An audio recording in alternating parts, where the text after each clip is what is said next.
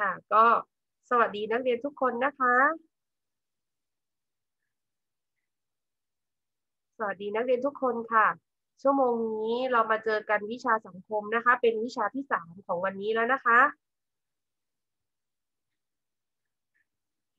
วันนี้เราจะมาเรียนในเรื่องของอะไร คุณครูบอกล่วงหน้าแล้วเมื่อวาน ว่าให้น้องเนี่ยไปทบทวนมาใช่ไหมคะ ไปทบทวนมาว่า วันนี้เนี่ย เราจะทำแบบทดสอบ แต่ก่อนจะทำแบบทดสอบเนี่ยเรามาทบทวนกันก่อน ศาสนาต่างๆ ที่เราเรียนไปเนี่ยไม่ว่าจะเป็นศาสนาพุทธศาสนาคริสต์ศาสนาอิสลาม ศาสนาพราหมณ์ฮินดูอะเรามาทบทวนกันก่อน เพื่อนๆจะได้ฟังด้วยอ่าเดี๋ยวชยางกูลสวัสดีค่ะ สวัสดีครับ สวัสดีค่ะ อ่าเรามาทบทวนกันก่อนก่อนที่เราจะทำ แบบทดสอบวันนี้มีแบบฝึกหัดด้วย เดี๋ยวแบบทดสอบเราจะทำกันหลังสุด อ่าชยางกูลครูถามหน่อยค่ะว่าอ่าน้องนับถือศาสนาอะไรคะพุทธครับอ่าน้องนับถือศาสนาพุทธ แล้วศาสนาพุทธเนี่ยมี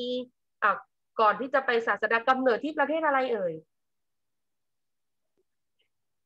อินเดียครับกำเนิดที่ประเทศอินเดีย โอเค ถูกต้องคำถามแรก พิมพิชาค่ะ พิมพิชา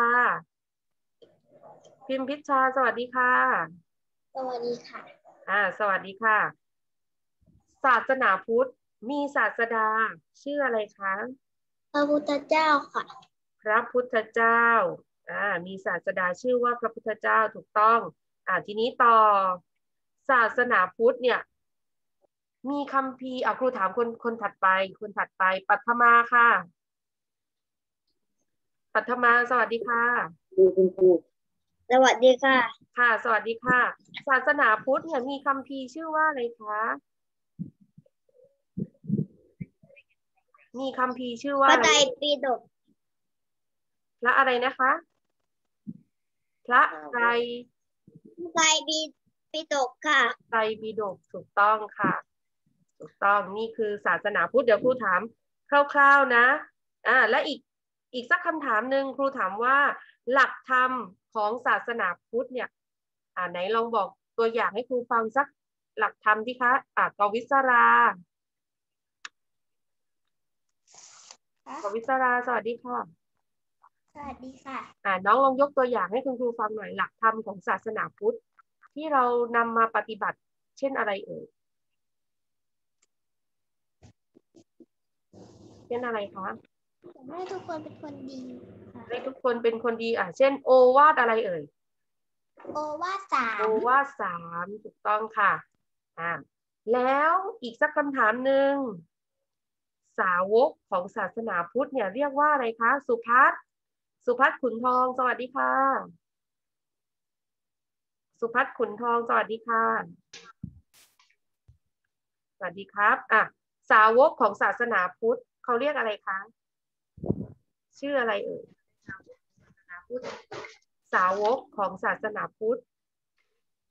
พระอะไรจำได้ไหมคะตรงครับพระสงฆ์โอเคค่ะ อ่าทีนี้ศาสนาพุทธนอกจากนี้นะคะ ศาสนาพุทธ พิธีกรรมของศาสนาพุทธ สถานสถอ่าเขาเรียกว่าอ่าพิธีกรรมก่อนก็เช่นพิธี พิธีอะไรคะจำได้ไหม การทอดกระถิน การทำบุญขึ้นบ้านใหม่นี่คือพิธีกรรมนะคะ นอกจากพิธีกรรม ศาสนสถานก็คือการประกอบพิธีกรรม เราไปประกอบพิธีกรรมที่ไหนเอ่ย เมื่อถึงวันสำคัญอย่างนี้ค่ะ เราไปที่ไหนคะศาสนาพุทธ สุภวิทย์ค่ะ ไปที่ไหนคะสุภวิทย์ เมื่อถึงวันสำคัญอย่างนี้ค่ะ เราไปที่ไหนเอ่ยของศาสนาพุทธอ่าไปที่วัดถูกต้อง นี่คือเกี่ยวกับศาสนาพุทธนะคะ นอกจากนี้ก็ยังมีความสำคัญจำได้ใช่ไหมอันนี้ครูเกริ่นคร่าวๆครูจะถาม เพราะว่าเดี๋ยวน้องต้องทำข้อสอบด้วยอะต่อไปศาสนาคริสต์ล่ะ ศาสนาคริสต์ถือกำเนิดที่ประเทศอะไรคะสุวิจักรค่ะ สุวิจักรสวัสดีค่ะ สวัสดีครับ ค่ะ สวัสดีค่ะศาสนาคริสต์เนี่ย ถือกำเนิดที่ประเทศอะไรคะจำได้ไหมอิสราเอลครับอิสราเอลถูกต้องค่ะอ่า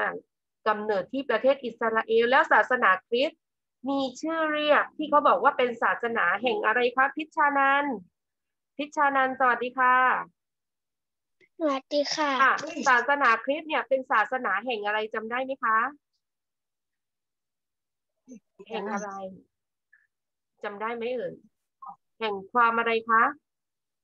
ความรัก ความรักค่ะ อ่าแห่งความรักถูกต้อง นอกจากนี้นะคะ ศาสนาคริสต์มีศาสดา ศาสดาของศาสนาคริสต์ชื่ออะไรครับปิง น้องปิงปริยากร ปิงสวัสดีค่ะ น้องปิงสวัสดีค่ะ ปริยากร สวัสดีค่ะ ค่ะ ศาสนาคริสต์เนี่ย มีศาสดาชื่ออะไรคะลูกจำได้ไหม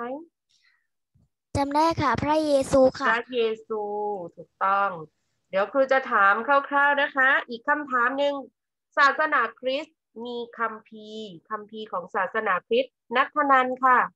นัทธนันยกมืออยู่แล้ว ไปไหนแล้วนัทธนัน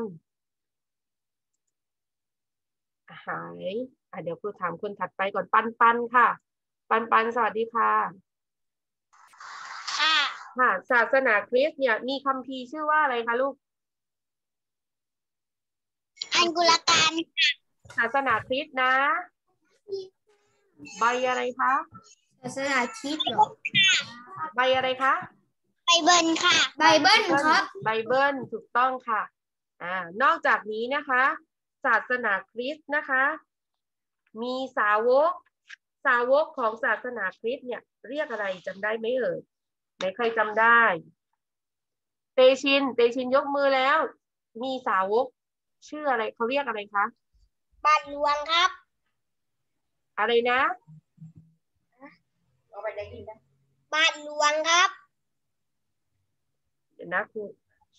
เดี๋ยวเดี๋ยวแป๊บหนึ่งครูไม่ได้ยินน้องเลยอะค่ะ ตอนนี้น้องได้ยินคุณครูไหมคะ ได้ยินครับ อ่าได้ยิน ครูถามว่าสาวกของ ศาสนาคริสต์เมื่อกี้น้องบอกอะไรนะ อีกครั้งหนึ่งบาทหลวงคอ่ารับบาทหลวงถูกต้องค่ะ ถูกต้องอ่า ผมครับ ค่ะเก่งมาก นี่คือศาสนาคริสต์ทบทวนให้คร่าวๆ เพราะครูเชื่อว่าหลายคนทบทวนมาแล้ว ต่อไปศาสนาอิสลามล่ะไหนใครนับถือศาสนาอิสลามยกมือหน่อยค่ะ ลันละนา ลันละนา ลันละนาค่ะ ศาสนาอิสลามเนี่ยกำเนิดที่ประเทศอะไรคะ ประเทศอะไรประเทศอะไรมองประเทศอะไรซาอะไรจำได้ไหมซาอะไรซาอุดิ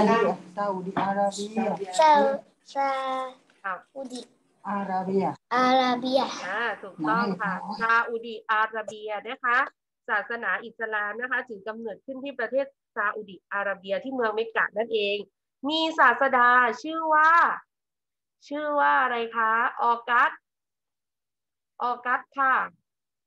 ออกัสสวัสดีค่ะ นั่งอ่าออกัสสวัสดีค่ะ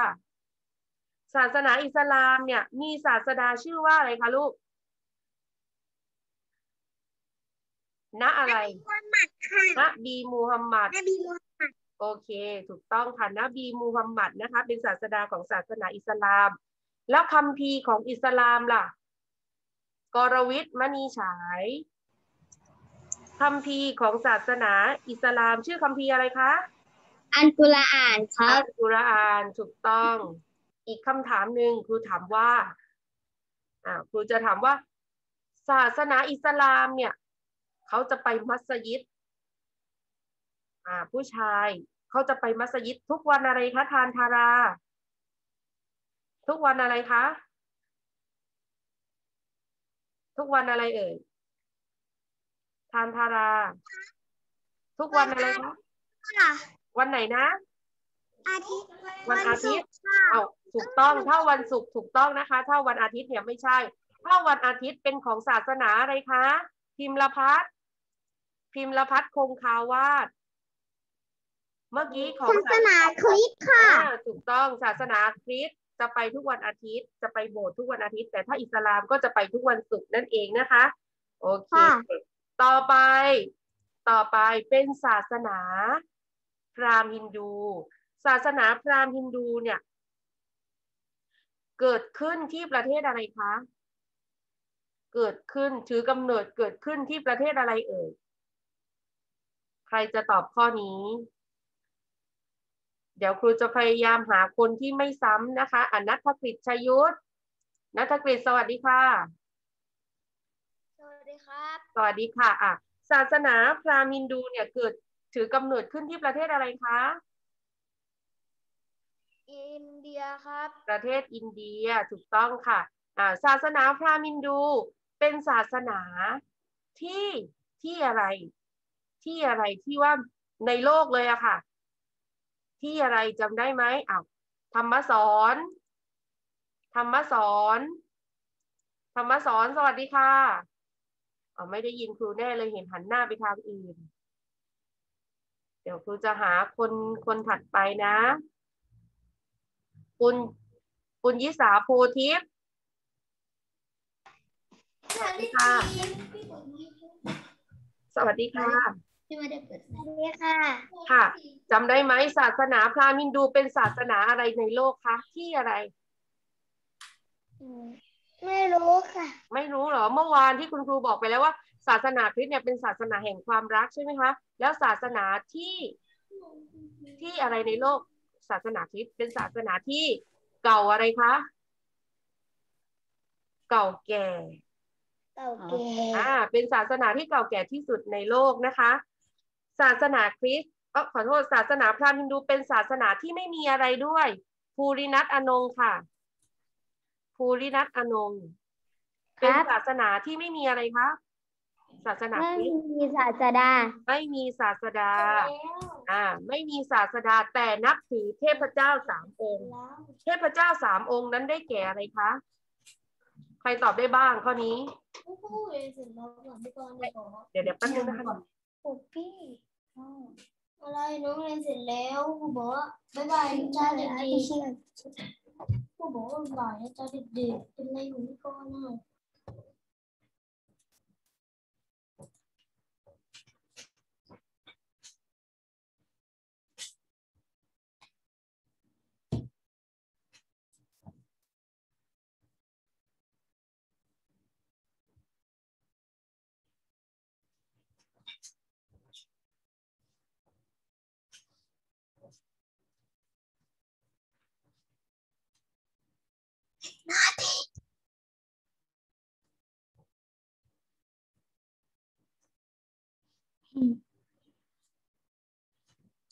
4, 8, 4, 9, 9.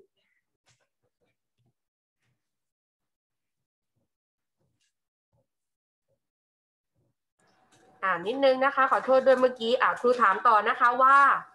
ศาสนาพราหมณ์ฮินดูเนี่ยเขาเป็นศาสนาที่ไม่มีศาสดา แต่เขาจะนับถือเทพเจ้าสามองค์ เทพเจ้าสามองค์นั้นมีอะไรบ้างครับ ปุริมปรัตยกมือค้างอยู่แล้วอะสวัสดีค่ะ สวัสดีค่ะค่ะเทพเจ้าสูงสุดสามองค์มีมีมีอะไรบ้างหนึ่งพระอะไรคะพระพรหมพระพรหมสองพระยาพระนารายณ์พระนารายณ์สามพระศิวะค่ะพระศิวะถูกต้องค่ะเก่งมากเลยอะนี่คือเป็นคำถามครูทบทวนให้ให้น้องนะคะ ทีนี้สิ่งที่น้องจะต้องทำค่ะอะสิ่งแรกก่อนก่อนที่เราจะไปข้อสอบน้องเอาน้องเปิดหนังสือของตัวเองเลยค่ะ เปิดหนังสือของตัวเองวิชาสังคมนะคะ ไปที่หน้าหนึ่งร้อยสี่ค่ะะเริ่มที่หน้าหนึ่งร้อยสี่เลย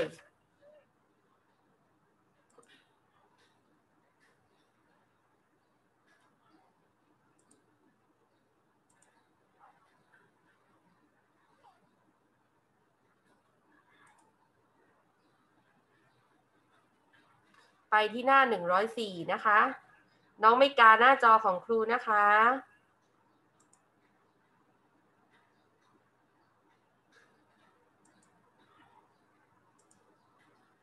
ตอนนี้ทุกคนเปิดอยู่แล้วนะ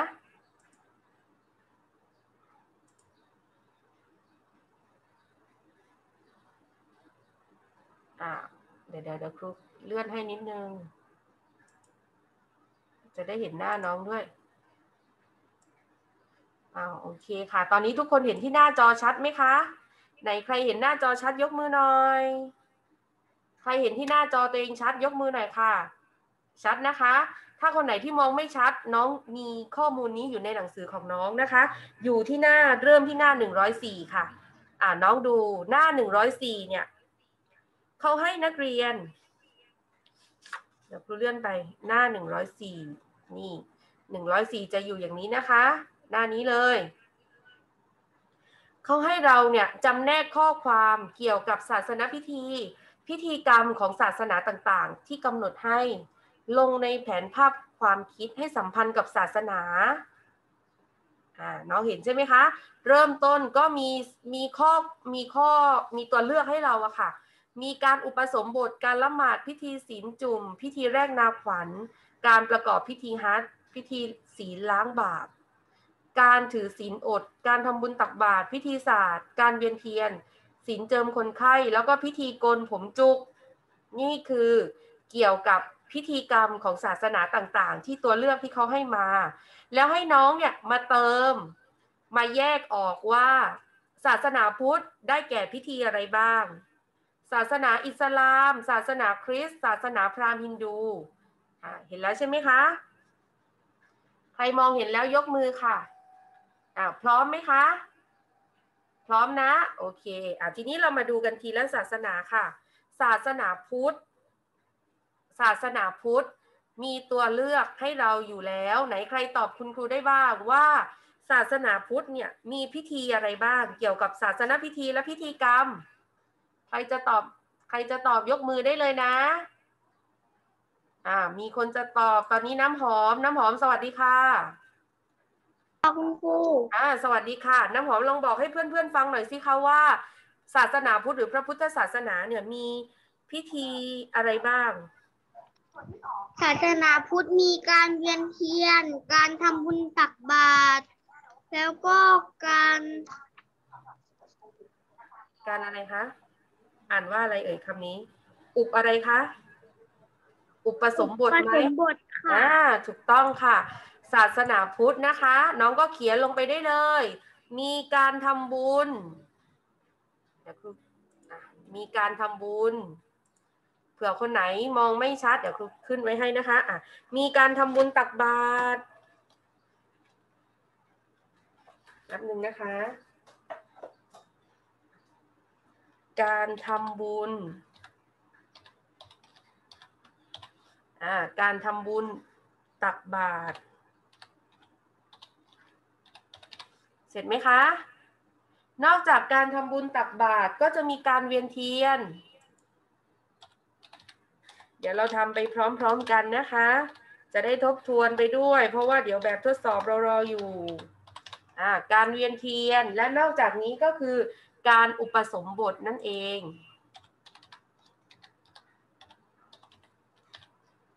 การอุปสมบทนะเพื่อนน้ำหอมตอบถูกแล้วต่อไป ศาสนาอิสลามล่ะ ศาสนาอิสลามใครจะตอบข้อนี้บ้าง ยกมือได้เลยค่ะ น้องเนลเนลจะตอบใช่ไหมคะครับน่ะเนลสวัสดีค่ะ สวัสดีฮะอ่าไหนน้องเนลบอกคุณครูหน่อยสิคะว่าศาสนาอิสลามมีศาสนพิธีและพิธีกรรมเช่นอะไรบ้างเอ่ยการละหมาดครับ การละหมาดอ่านอกจากนี้ล่ะคะ พิธีเรียกนาขวัญครับ การละหมาด อ่านอกจากนี้ยังมีอะไรอีกคะพิธีเรียกนาขวัญครับ พิธีแรกนาขวัญไม่ใช่อ่าพิธีแรกนาขวัญไม่ใช่ค่ะ มีละหมาพิดและธีพิธีศีลล้างบาปครับศีลล้างบาปก็ไม่ใช่ค่ะ การการถืออะไร การการถือ การถือศีลอะไร มีอยู่ในตักาวรถืเลืออกศีลรอดครับการถือศีลอดค่ะอ่าอ๋อการถือศีลอดนะคะคำนี้อ่านว่าศีลอด และอีกข้อหนึ่งอีกข้อหนึ่งของศาสนาอิสลามก็คือการประกอบพิธีฮัจญ์ค่ะ การประกอบอ่าการประกอบพิธีฮัจญ์ค่ะคำนี้อ่านว่าพิธีฮัจญ์นะคะแป๊บหนึ่ง คนไหนที่มองหน้าจอไม่ชัดนะคะ ในหนังสือของเราก็มีนะคะ ตัวเลือกนี่พิธีฮัทนี่คือศาสนาอิสลาม โอเคนะคะ น้องเนวอ่าทีนี้ตอนนี้ศาสนาพุทธมีทำบุญตักบาตรเวียนเทียนอุปสมบท อิสลามก็มีการละหมาดการถือศีลอดการประกอบพิธีฮัจญ์ต่อไป เป็นศาสนาคริสต์ค่ะ ใครจะตอบศาสนาคริสต์บ้าง ยกมือได้เลยตอบผิดตอบถูกครูไม่ว่าเลยค่ะ นักเรียนได้มีส่วนร่วมนะคะในการในการเรียนอะเปรมค่ะ เปรมสวัสดีค่ะสวัสดีครับ สวัสดีครับอ่าน้องเปรมบอกคุณครูหน่อยศาสนาคริสต์มีอะไรบ้าง พิธีอะไรบ้างคะอืมพิธีอะไรบ้างเอ่ย อ่า ครูขึ้นให้มีพิธีศีลศีลอะไรจิตตุมอ่าศีลจุ่มถูกต้อง พิธีศีลจุ่มค่ะถูกต้อง นอกจากพิธีศีลจุ่มแล้วก็ยังมีพิธีศีลอะไรคะล้างอะไรพิธีศีลอะไรเอ่ยล้างศีลล้างอะไรคะลูก ตีล้างบาปอ่าศีลล้างบาปถูกต้องค่ะ และนอกจากศีลล้างบาปแล้วก็ยังมีอีกพิธีหนึ่งค่ะ ศีลอะไร ศีลเจิมอะไรคะผีเจิมคนไข้ศีลเจิมคนไข้ถูกต้อง นี่คือศาสนาคริสต์ค่ะ ถูกต้องค่ะอ่าดูตามไปด้วยนะคะ ต่อไปสุดท้าย ศาสนาพราหมณ์ฮินดูค่ะ ใครจะตอบข้อนี้ พิมพิชชาอ่าศาสนาพราหมณ์ฮินดูอ่าเราก็ดูว่าคำตอบไหนที่เรายังไม่ได้ตอบ มีคำตอบอะไรบ้างเอ่ย พิธีอะไรคะนาขวัญค่ะ พิธีแรกนาขวัญถูกต้อง แรกนาขวัญ โอเคค่ะ นอกจากนี้ล่ะคะ พิธีอะไรอีก ศาสตร์ อะไรนะคะ อ๋อ พิธีศาสตร์ โอเค พิธีศาสตร์ พิธีโกนผมจุกค่ะ อ่า พิธีโกนผมจุก โอเค ครบสามพิธีนี่คือศาสนาพราหมณ์ฮินดูนะคะอะเดี๋ยวครูพิมพ์ให้พิธี โกนผมจุก โอเคนะคะ มองเห็นชัดนะ อะ ใครเสร็จแล้วยกมือค่ะ เพราะว่าเดี๋ยวครูจะต้องเลื่อนไปหน้าถัดไป คนที่เสร็จแล้ว คนที่เสร็จแล้วทีนี้เปิดหน้าถัดไปเลยค่ะ หน้าถัดไปก็คือหน้าหนึ่งร้อยห้าหน้าหนึ่งร้อยห้าหน้านี้ครูเลื่อนแล้วนะคะ ที่หน้าจอ ถ้าคนไหนไม่ทัน น้องก็ดูตัวเลือกจากด้านบนของเราในหนังสือนะคะ มีให้เลือกอยู่แล้ว ต่อไป หน้าถัดไปเดี๋ยวครูเคลียร์ก่อนนะ พอครูเคลียร์ปุ๊บเนี่ยหน้านี้จะหายไปเลยนะลูกนะอ่าทีนี้ดูต่อ หน้าถัดไปค่ะก็คือหน้าหนึ่งร้อยห้าค่ะ หน้าหนึ่งร้อยห้าเนี่ยทุกคนฟังคำสั่งก่อนนะ หน้าหนึ่งร้อยห้าเขาให้นักเรียนเนี่ยวาดภาพศาสนพิธีหรือพิธีกรรมเกี่ยวกับ ศาสนาที่ตนนับถือ หรือที่สนใจมาหนึ่งศาสนศาสนพิธีแล้วตอบคำถามให้นักเรียน คนไหนที่นับถือศาสนาพุทธ ก็วาดมาเกี่ยวกับศาสนพิธีหรือพิธีกรรม ของศาสนาพุทธ หรือคนไหนที่นับถือศาสนาอิสลามก็วาดมาอันนี้จะเป็นความคิดส่วนตัวของแต่ละคนนะคะ เราจะเราจะทำไม่เหมือนกันอ่า แล้วให้นักเรียนตอบคำถามอ่าเช่น คนที่นับถือศาสนาอิสลามก็วาดภาพที่เรากำลังละหมาดได้ไหมคะ ได้ไหมเอ่ยอ่าหรือคนที่นับถือศาสนาพุทธก็อาจจะเป็นการเวียนเทียนอย่างนี้ค่ะ ครูยกตัวอย่างภาพให้น้องนะ เดี๋ยวน้องจะต้องวาดเองนะคะสมมุติคนที่นับถือศาสนาพุทธก็วาดเกี่ยวกับการเวียนเทียน คนที่นับถือศาสนาอิสลามก็วาดเกี่ยวกับการละหมาดอะไรอย่างเงี้ยค่ะ ทุกคนเข้าใจนะคะ น้องจะต้องวาดเองนะ แล้วเมื่อวาดเสร็จแล้ว น้องก็จะตอบคำถาม ภาพนี้เป็นศาสนพิธีพิธีกรรมใด เราก็บอกลงไป เกี่ยวข้องกับศาสนาใดอะเดี๋ยวครูจะยกตัวอย่างให้สมมุติว่า ภาพนี้ที่ครูวาดเนี่ย ครูจะวาดเกี่ยวกับภาพการละหมาดอ่าการละหมาด สมมุตินะคะ ภาพนี้ที่ครูวาดเกี่ยวกับการละหมาด แล้วเขาก็ถามต่อว่า ภาพนี้เป็นศาสนพิธีพิธีกรรมใด เราก็เขียนเลยว่าการละหมาดนี่ตัวอย่างคำตอบนะ เดี๋ยวน้องจะต้องทำเองอ้าวเขาก็ถามต่อว่าเกี่ยวข้องกับศาสนาใด อันนี้ง่ายมากเลย การละหมาดเกี่ยวข้องกับศาสนาใดคะ ไหนลองตอบพร้อมกันสิคะ ศาสนาอะไรเอ่ย ไม่มีคนตอบเลยเหรอคะ ครูดูปากน้องพูดอยู่นะ ศาสนาอะไรคะ การละหมาด อิสลามอ่าเราก็เขียนเลยอิสลาม ต่อไป ผู้นำในการประกอบศาสนพิธีคือใครก็อิหมัมนั่นเองอ่าแล้วมีขั้นตอนอย่างไร ก็คือขั้นตอนนี้น้องก็ต้องเขียนเองนะคะ ก็ง่าย ๆก็คือเป็นการ แสดงความเคารพต่อพระเจ้าก็คือวันละห้าเวลานั่นเองการละหมาดนะคะ ไม่ว่าจะเป็นก่อนย่ำรุ่ง บ่ายเย็น หัวค่ำแล้วก็กลางคืนมีขั้นตอนอย่างไรนะคะจำได้ใช่ไหมก็คือมีขั้นตอนปฏิบัติวันละห้าเวลา ง่ายๆเดี๋ยวครูเขียนให้ดูก็ได้เป็นตัวอย่างปฏิบัติ ห้าเวลา หรือเราจะเขียนสั้นๆ แบบนี้ก็ได้ว่าปฏิบัติห้าเวลา หรือถ้าใครจะเขียนรายละเอียดก็มีก่อนย่ำรุ่ง บ่ายเย็น หัวค่ำแล้วก็กลางคืนอ่าสุดท้าย การปฏิบัติศาสนพิธีดังกล่าวก่อให้เกิดผลอย่างไร ข้อสุดท้ายก่อให้เกิดผลอย่างไรอะใครจะตอบครูได้บ้างข้อนี้ สิ่งที่เราปฏิบัติเนี่ยก่อให้เกิดผลอย่างไรคะ ใครจะตอบคุณครูบ้าง กวิสรากวิสรายกมือแล้ว ข้อสุดท้ายการปฏิบัติศาสนพิธีดังกล่าวเนี่ยก่อให้เกิดผลยังไงคะทำให้เรามีความสุขอ่าทำให้เรามีความสุข หรือนอกจากนี้นะคะ ถูกต้องนะคะทำให้เรามีความสุขหรือทำให้ก็คือเป็นการช่วยสืบทอดศาสนาศาสนาให้คงอยู่ต่อไปนั่นเองนะคะ นี่คือตัวอย่างสำหรับคนที่นับถือศาสนาอิสลาม แล้วถ้าคนที่นับถือศาสนาพุทธล่ะ เราก็วาดภาพไม่ว่าจะเป็นการเหมือนที่คุณครูบอกเมื่อกี้การเวียนเทียน การบวชอย่างนี้ค่ะการทำบุญตักบาตร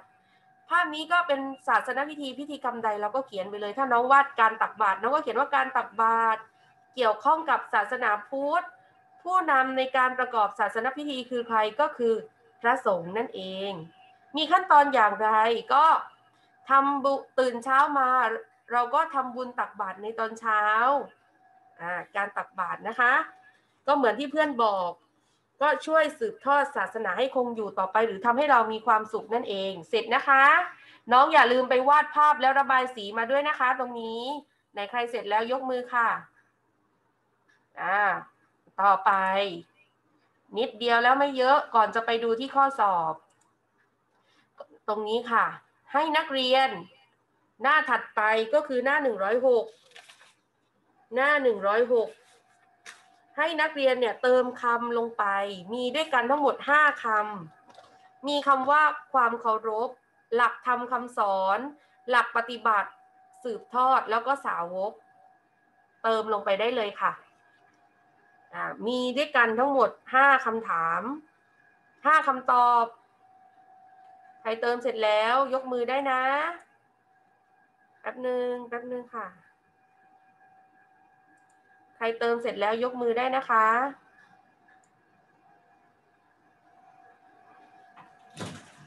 อ๋อดีกว่านี้อ้าวเติมเสร็จแล้วหรือยัง ใครเสร็จแล้วก็ยกมือได้ เดี๋ยวครูให้น้องตอบ ให้น้องช่วยกันตอบ เสร็จไหมเอ่ย อ้าวพิมพ์ละพัฒน์คงคาว่าเสร็จแล้วอ้าวข้อที่หนึ่งศาสนาทุกศาสนาล้วนมีอะไรคะล้วนมีอะไรเอ่ยว่ามีสาวกล้วนเผมียแผ่สาวกค่ะโอเค ถูกต้อง ศาสนาทุกศาสนา ล้วนมีสาวกค่ะถูกต้องอ่าน้องก็เขียนไปเลย สาวกแป๊บนึงนะคะเดี๋ยวครูพิมพ์ให้ดูด้วยเผื่อบางคนไม่ทันอะสาวก ต่อไปอ่าเมื่อกี้เพื่อนบอกว่าศาสนาทุกศาสนาล้วนมีสาวกที่เป็นผู้เผยแผ่ เผยแผ่อะไรคะนัชชา นัชชากองทอง เผยแผ่อะไรคะลูก หลักธรรมคำสอนค่ะอ่าเผยแผ่หลักธรรมคำสอนถูกต้อง หลักธรรมคำสอน โอเค ต่อไปอะเผยแผ่หลักธรรมคำสอนแป๊บนึงนะคะแก้นิดนึงเดี๋ยวเดี๋ยวเดี๋ยวเดี๋ยวแป๊บนึงค่ะอะ เมื่อกี้สาวก ตรงนี้หลักธรรมคำสอนอะต่อไปอ่าศาสนาทุกศาสนาล้วนมีสาวกที่เป็น ผู้เผยแผ่หลักธรรมคำสอนเพื่อให้ศาสนิกชนนำไปปฏิบัติตาม อย่างถูกต้องตามหลักคำสอนและและอะไรคะ ใครจะตอบธิดาทิพย์ค่ะ และอะไรเอ่ย และสืบและอะไรคะอะมีคำว่าหลักและหลักอะไร หลักปฏิบัติอ่าถูกต้องค่ะหลักปฏิบัติ และหลักปฏิบัติเสร็จนะคะ ต่อไปและหลักปฏิบัติของแต่ละศาสนา ส่วนศาสนพิธี พิธีกรรมทางศาสนาเป็นสิ่งที่ศาสนิกชนของแต่ละศาสนาปฏิบัติ เพื่อแสดงถึงแสดงถึงอะไรคะ เพื่อแสดงถึงอะไรเอ่ยอ่าเพื่อแสดงถึงอะไร เดี๋ยวหาสมาชิกก่อน สุภวิทย์ค่ะ สุภวิทย์แซ่ลิม เพื่อแสดงถึงอะไรคะ สุภวิทย์แซ่ลิมค่ะ น้องตอบคำถามคุณครูด้วย เพื่อแสดงถึงอะไรคะลูก ความเคารพครับ ความเคารพถูกต้องค่ะ เพื่อแสดงถึงความเคารพอ่าสุดท้าย เมื่อกี้เพื่อแสดงถึงความเคารพการเลื่อมใสศรัทธาและอะไรคะ และ และอะไรเอ่ย ข้อนี้ใครจะตอบ และพีรัชยาสงวนการค่ะ เด็กหญิงพีรัชยาสงวนการและอะไรข้อสุดท้าย และอ่าเรียกกันที่ดังนี้และอะไรเอ่ยเอ่อ สืบทอด สืบทอดค่ะ อ่าและสืบทอด และสืบทอดศาสนาให้คงอยู่สืบไปนั่นเองนะคะ อ่านี่คือเป็นการสรุปความรู้ความเข้าใจนะคะ เรื่องการปฏิบัติตนอย่างเหมาะสมต่อสาวกของศาสนา และการปฏิบัติตนในศาสนพิธีพิธีกรรมและวันสำคัญนะคะอ่าทุกคนเสร็จนะอ่าทีนี้สุดท้ายท้ายสุดค่ะ ให้น้องเปิด ไม่ไม่ต้องเปิดแล้วสิมันอยู่ด้านล่างของเราแล้ว เป็นแบบทดสอบ 10 ข้อค่ะ น้องทำลงไปในหนังสือได้เลยอะให้เวลา ให้เวลาในการทำเดี๋ยวคนไหนเสร็จแล้วยกมือไว้ เดี๋ยวครูจะเฉลย เวลาครูเฉลยเนี่ย ห้าม ห้ามลบ เรากาข้อไหนเราก็ตรวจตามที่คุณครูเฉลยเลย ถ้าผิดวิธี แก้ข้อผิดเนี่ยให้น้องลอกโจทย์ ลอกตัวเลือกลงไปในสมุดนะเดี๋ยวตรงนี้ครูขอเคลียร์ก่อนอ่าทีนี้แบบทดสอบมี 10 ข้อค่ะ นี่เริ่มตรงนี้เลย ข้อที่ 1 ข้อที่ 2 อยู่ด้านล่าง ของหน้า 100 106 อยู่แล้วอ่าลงมือทำเลยค่ะ หน้า 106 ข้อที่1ศาสนาใดไม่ได้ถือกำเนิดขึ้นที่ประเทศอินเดียกอไก่ศาสนาคริสต์ขอไข่พระพุทธศาสนา คอควาย ศาสนาพราหมณ์ฮินดู นี่คือข้อหนึ่งเราก็กาเลยค่ะ หรือเราจะใช้ดินสอระบายในวงกลมก็ได้อ่าหมายเลขหนึ่งมีมีตัวเลือกสามตัวเลือกนะคะ นี่คือข้อหนึ่งข้อที่สอง คัมภีร์ของศาสนาอิสลามคือคัมภีร์ใด มีไบเบิล พระเวท อันกุรอาน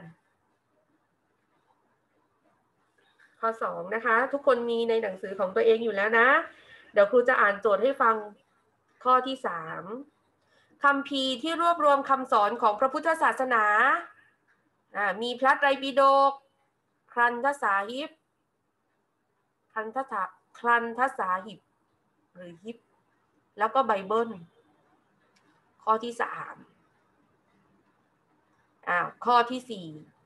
ศาสดาองค์ใดเป็นผู้เผยแผ่คำสอนให้แก่ชาวยิวคูรู้พระเยซู หรือนบีมูฮัมมัด ข้อที่สี่นะคะ ต่อไป ข้อที่ห้าข้อใดสัมพันธ์กัน ข้อที่ห้าข้อใดสัมพันธ์กัน คุรุสัมพันธ์กับไบเบิลไหม พระเยซูสัมพันธ์กับพระเวทไหม หรือพระพุทธเจ้ากับพระไตรปิฎกไหม ข้อที่ห้าข้อที่หกค่ะ หลักคำสอนที่เหมือนกันในแต่ละศาสนา ได้แก่อะไรทำแต่ความดีมีความสามัคคีหรือมีความเสมอภาค ข้อที่หก ข้อที่เจ็ดคำพีร์ทางศาสนามีความสำคัญอย่างไร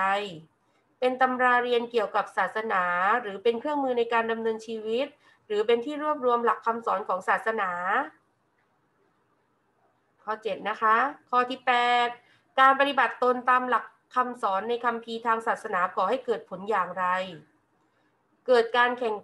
เกิดการแข่งขันกัน หรือสังคมเกิดความสงบสุข หรือสังคมเกิดความวุ่นวาย อ่าข้อที่ 9 ศาสนาทุกศาสนามีความสำคัญอย่างไร เป็นที่ยึดเหนี่ยวจิตใจของศาสนิกชน หรือเป็นสิ่งที่ให้โชคลาภแก่ผู้ทำความดี หรือเป็นที่พึ่งยามเกิดความลำบาก ข้อ 9 ข้อสุดท้าย เมื่อเราต้องเข้าร่วมศาสนพิธี พิธีกรรมทางศาสนาเนี่ยนักเรียนควรปฏิบัติตนอย่างไร ไม่พูดคุยเสียงดัง หรือสำรวมกิริยามารยาทหรือเดินไปเดินไป เดินไปมาเพื่อเรียกร้องความสนใจอ่าเสร็จไหมคะ ใครเสร็จแล้วยกมือสิบข้อ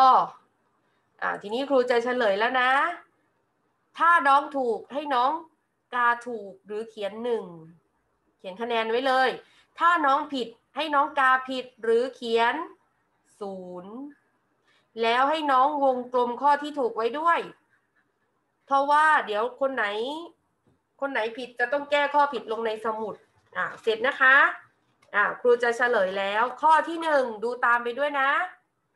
ข้อที่หนึ่งศาสนาใดไม่ได้ถือกำเนิดขึ้นที่ประเทศอินเดียอ่าเดี๋ยวเพื่อความรวดเร็ว เดี๋ยวครูจะเฉลยให้เลยนะคะ ข้อที่หนึ่งศาสนาใดไม่ได้ถือกำเนิดขึ้นที่ประเทศอินเดีย ก็คือ ศาสนาคริสต์ค่ะ ข้อที่หนึ่งศาสนาคริสต์ ตรวจตามไปด้วยนะคะ ข้อที่สองคำพีของศาสนาอิสลามคือคำพีใดคำพีอันกุรอานค่ะ ตรวจตามไปด้วย ข้อหนึ่งข้อสองนะคะอ้าวต่อไป ข้อที่สามค่ะ ข้อที่สามคำพีที่รวบรวมคำสอนของพระพุทธศาสนา คือคำพีอะไร ข้อที่หนึ่งค่ะคำพีพระไตรปิฎกตรวจตามไปด้วยค่ะ ข้อที่สี่ศาสดาองค์ใดเป็นผู้เผยแผ่คำสอนแก่ชาวยิวก็คือพระเยซูอะข้อที่ห้าข้อใดสัมพันธ์กัน ข้อใดสัมพันธ์กันเห็นไหมคะ ง่ายมากเลยข้อนี้เนี่ยก็คือพระพุทธเจ้ากับพระไตรปิฎกนั่นเอง ข้อที่ 6 ค่ะ หลักคำสอนที่เหมือนกันในแต่ละศาสนาก็คือ การทำแต่ความดี ข้อที่ 1 นั่นเองนะคะอ้าวข้อที่ 7 ค่ะ ทันนะคะ ทุกคนทันนะ ข้อที่ 7คำพีร์ทางศาสนามีความสำคัญอย่างไรก็คือเป็นที่เก็บรวบรวมหลักคำสอนของศาสนาอ่า ข้อที่ 8 ค่ะ การปฏิบัติตนตามหลักคำสอนในคัมภีร์ทางศาสนาก่อให้เกิดผลอย่างไร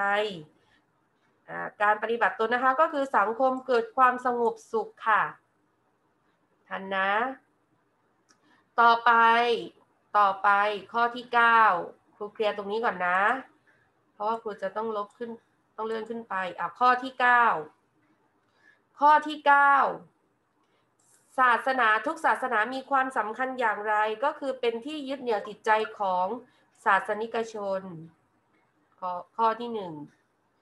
สุดท้ายข้อที่สิบค่ะ เมื่อต้องการเข้าร่วมศาสนพิธีพิธีกรรมทางศาสนานักเรียนควรปฏิบัติตนอย่างไรก็คือสำรวมกิริยามารยาทค่ะ หมายเลขสองอ่ารวมคะแนนของตัวเองค่ะ รวมคะแนนของตัวเอง รวมไว้ในหนังสือของตัวเองเลยว่าเราได้กี่คะแนน รวมแล้วหรือยังคะ ตรงนี้ครูสต็อปแชร์นะ อ่าทีนี้ใครได้เต็มยกมือหน่อยค่ะ คนไหนได้เต็มสิบบ้าง คนไหนได้เต็มสิบยกมือหน่อย ตอนนี้กำลังดูอยู่ ใครผิดหนึ่งข้อ ใครผิดหนึ่งข้อคะ มีไหม ใครผิดสองข้ออะมี ครูเชื่อว่ามีอีกมีอีกที่บางคนได้เต็มก็ใส่คะแนนไป คนไหนได้เก้าก็ใส่คะแนนตามความเป็นจริงนะคะ ทีนี้สิ่งที่จะต้องทำต่อไปนี้ค่ะ สิ่งที่จะต้องทำต่อไปนี้ก็คือ คนไหนผิดข้อไหนให้น้องไปขึ้นในสมุดของตัวเองว่า เขียนวันที่ก่อน วันนี้วันศุกร์ วันนี้วันศุกร์ที่ 9 นะคะ กรกฎาคมให้น้องเขียนว่า แก้ข้อผิด แล้วก็บอกด้วยว่าหน้า 106 107 แล้วเราผิดข้อไหนให้เราแก้ข้อนั้น เช่น น้องบอกว่า หนู หนูผิดข้อที่ 6 น้องก็เขียนเลยแก้ข้อผิดแล้วเขียนข้อที่ 6 ลอกทั้งโจทย์ ลอกทั้งตัวเลือก แล้วก็ใส่คำตอบที่ถูกต้องลงไป ผิดข้อไหนแก้ข้อนั้นลงในสมุดนะคะ ไหนใครจำได้แล้วยกมือ ใครเข้าใจคุณครูแล้วยกมือ อ่าโอเค ทุกคนเข้าใจทุกคนรับทราบนะคะ ตอนนี้ก็หมดเวลาแล้วเราเราเลยมาสองนาทีแล้ว เดี๋ยวครูจะให้น้องไปพักนะคะ โอเคไหมเอ่ยอ่าโอเคนะคะ เดี๋ยวให้น้องไปพัก พักกลางวันแล้วเดี๋ยวจะได้เรียนวิชาสุดท้ายของวันนี้นะคะ ตอนบ่ายโมงนะคะ เราก็เจอกันแค่นี้นะลูกนะ สวัสดีค่ะ สวัสดีครับ บ๊ายบาย